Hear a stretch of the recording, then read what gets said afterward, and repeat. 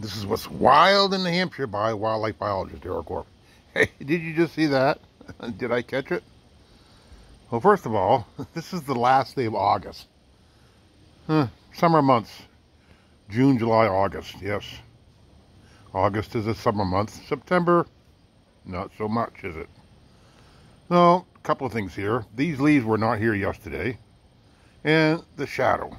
I stepped out on my deck an hour or so ago and a shadow flashed across this deck.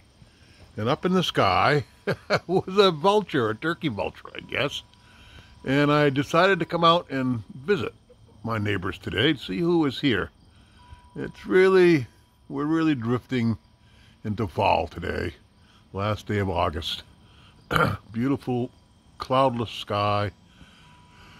Wind out of the north, northwest to a degree. According to my, up there's my uh, my bat weather vane, yeah. I was the Batman in New Hampshire for a long time, and I had myself a bat weather vane made decades ago. It stood the test of time. So, yeah, shadows. So, if you want to know what's going on, pay attention to shadows.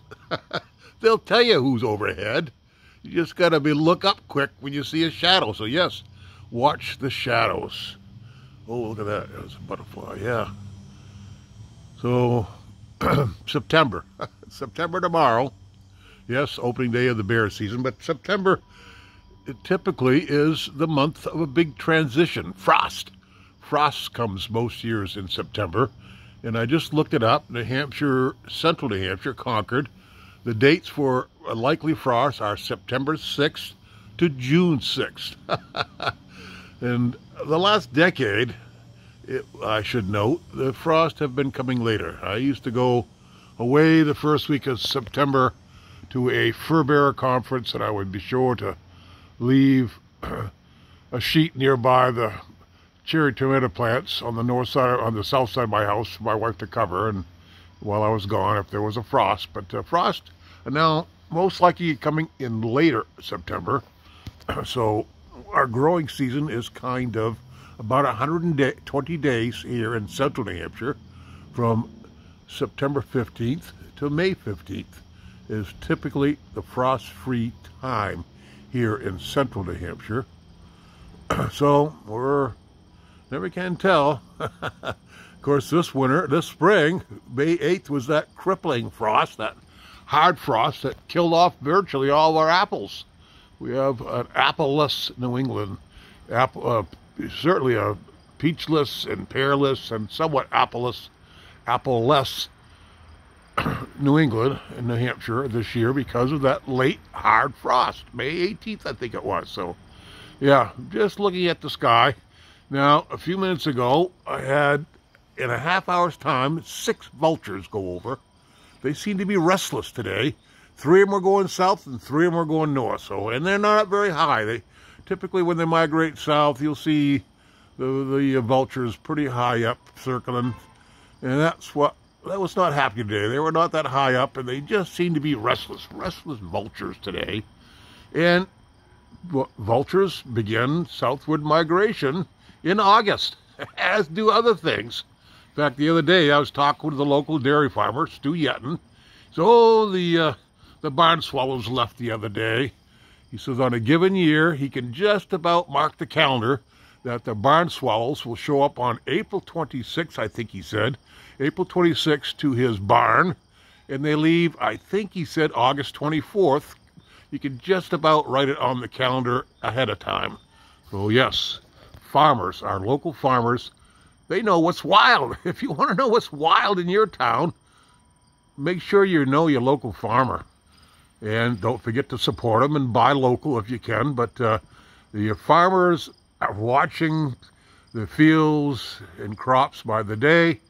Like the trappers that I've mentioned before, trappers are, if you want to know what's going on in, in your town, in your area, talk to the local trapper. They know exactly what's going on, as do the farmers. So pay attention to our trappers and our farmers if you really want to know what's going on in your town. Be sure to get to know your local trapper and your local farmers and support the farmers in your communities.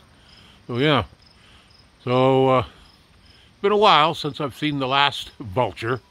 But they were here for about a half an hour. I had restless vultures here in central New Hampshire. Beautiful, perfect, perfect day today. And I'm taking advantage of it by just being outside and trying to absorb what's here. In fact, I, I put my Merlin app on, hoping to see who was here for birds. I've seen a few flit around.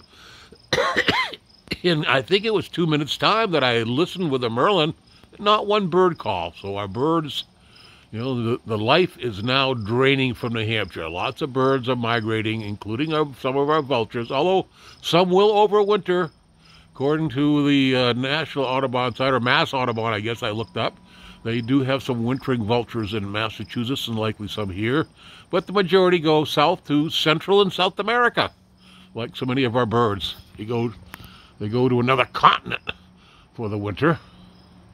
Can't blame them at all, I guess. You got to eat.